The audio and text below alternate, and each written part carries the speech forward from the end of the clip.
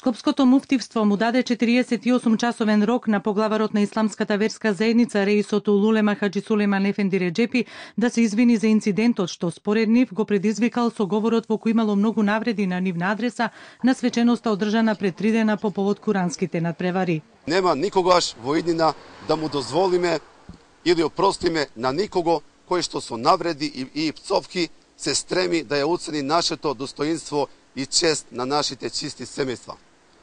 Базирајќи се на, на сето ова, муфтиството на ИВЗ Скопје бара од Сулейма Реджепи да се освести и во рокот 48 часа да побара јавно извинување кон Скопскиот муфтија, Скопското муфтиство, како и одзематот на муфтиството на ИВЗ Скопје.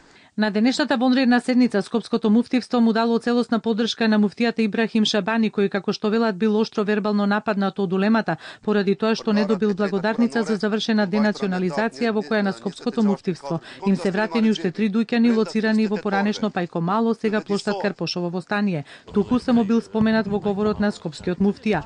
Но ова не било единствената причина поради која се свикала денешната пресконференција вели Скопскиот муфтија Шабани, туку и да се појави пред јавноста за да видат патот и не бил тепан од рейсот, како што информирале балканските па дури и медиумите во Турција.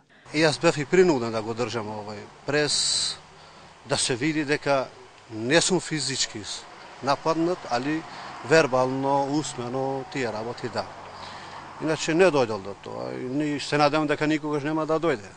Исламската верска заедница за овој настан ставот ќе го соопшти утре директорот за односи со јавност на ИВ за Агрон Војника, а по повод денешниот прес на Скопското муфтивство и кажаното на истиот, за Канал 5 изјави оти ниеден проблем не може да се решава вон институционално со закани и ултиматуми и дека Риасетот е местото каде треба да се решаваат овие проблеми. Според Војника, Скопското муфтивство постапува несериозно. Пред два дена на својот сајт демантирало оти имало било каков инцидент, за денеска да потврди дека сепак имало.